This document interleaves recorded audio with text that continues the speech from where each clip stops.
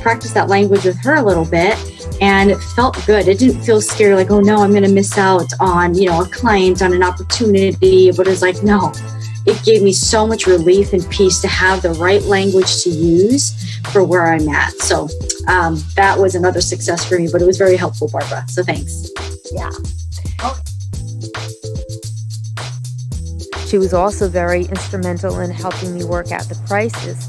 Um, and, and also to a point where it was more than I anticipated that I would figure out for myself.